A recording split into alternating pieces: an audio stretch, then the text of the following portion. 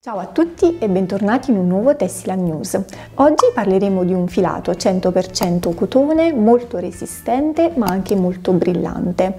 Stiamo parlando del filo di Scozia ed in particolare dell'amanda. Questo filato si rinnova con una cartella colori ancora più ampia. Andiamola a scoprire insieme.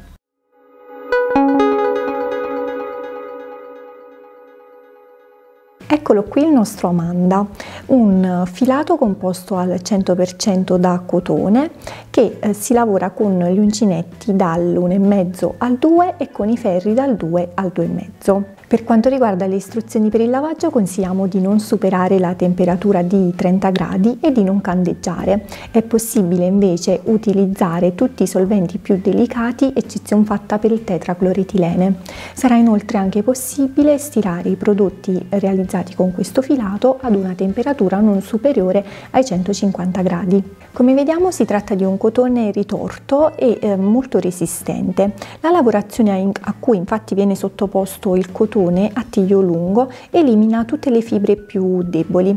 Il filo quindi prodotto non si ritira e si mantiene integro a lungo. Il risultato sarà un filato di origine vegetale che è completamente anallergico e antibatterico. Andiamo a vedere ora tutte le colorazioni disponibili. Quella che abbiamo appena visto è la colorazione fucsia. Qui abbiamo il rosa e il rosa scuro. Qui vediamo invece la colorazione cipolla, salmone e lilla. Passiamo ora ai toni del celeste, carta da zucchero, celeste e azzurro. Vediamo ora delle tonalità più brillanti, il blu, il turchese e il bluette. Passiamo ora alle tonalità petrolio, grigio perla e viola.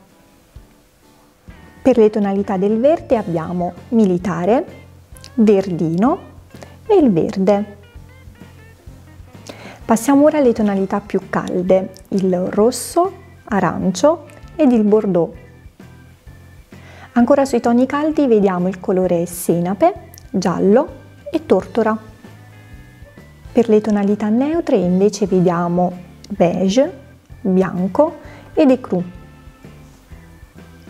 E per concludere vediamo le tonalità più scure della gamma.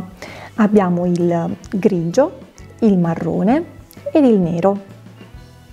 Come abbiamo visto la gamma di colori per questo filato è davvero molto ampia. La manda infatti permette di realizzare numerosi progetti a partire da centrini, runner, tovagliette o copriletto fino ad arrivare ai capi di abbigliamento. La sua morbidezza, la sua lucentezza ma al tempo stesso la durevolezza e la resistenza lo rendono adatto alla realizzazione di capi di abbigliamento sia per i più grandi che per i più piccini. Altra proprietà di questo filato molto importante importante è la caratteristica di essere antibatterico, antiallergico e particolarmente traspirante. Questo infatti si presterà particolarmente per la creazione di capi molto delicati adatti anche ai neonati.